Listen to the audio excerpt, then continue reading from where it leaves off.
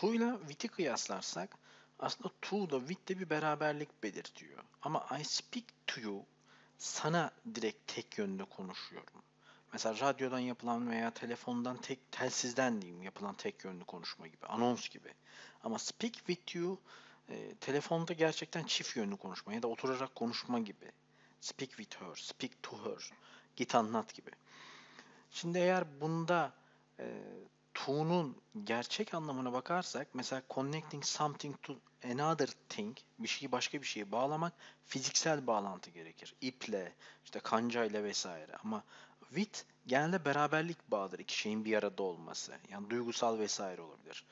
Burada mesela bir yüzükle bağlanan, nesneyle bağlanan insanlara she engaged to John dersin. Yani onunla nişanlandı. Ama spend time with him, talk with her, bored with all habits yani bazı şeylerden, bazı şeylerle yapılan şeyler fiziksel değilse with kullanıyoruz.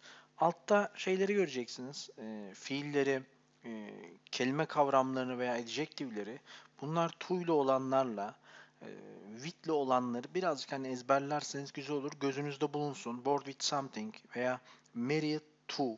Genelde married with him demek istersiniz ama öyle değildir. Married to'dur. I married to her gibi. E, veya dikkat ederseniz at, compare to, comparing some, something to another. Bir şeyi başka bir şeye kıyaslamak. Bu şekilde to ile with'i rahatlıkla e, birbiriyle nerede kullanıldığını kafanıza yazabilirsiniz.